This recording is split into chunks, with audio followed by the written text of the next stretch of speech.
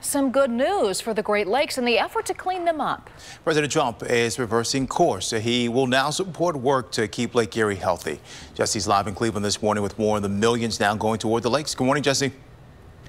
Good morning, guys. Well, it is a surprising shift from the president because just less than a month ago, his proposed federal budget suggested cutting the Great Lakes Cleanup Fund from $300 million to just $30 million. But last night at a rally in Michigan, he promised that full 300 million to the restoration effort. This comes after many organizations lobbied in Washington asking for more federal funding for our lakes. The money will be used in part to fund programs to improve the quality, which is important when you think about a quarter of Ohio's population that gets their water supply from Lake Erie. It also will make sure the lake is clear from harmful algae and the invasive, invasive Asian carps we've had problems with before. Last night, President Trump seemed excited to unveil the funding effort. Take a listen to what he had to say.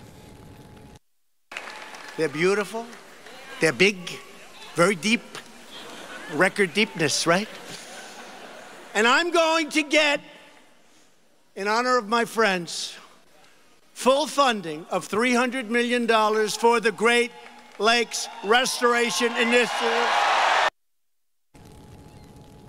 In addition to just making sure that this water is clean and a part of our landscape for years to come, it's also huge in tourism, bringing in about $15 billion a year. So obviously many local politicians are saying that this is good news. I'm live in Cleveland. Jesse Schultz, News 5.